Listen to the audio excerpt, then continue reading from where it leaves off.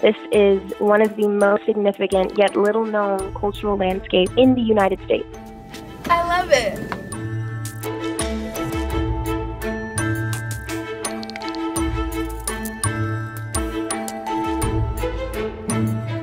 Just like the Dakota Access Pipeline, this illegal land grab would result in the diminishment of tribal sovereignty and puts Bears Ears at risk of for profit development, looting, and grave robbing.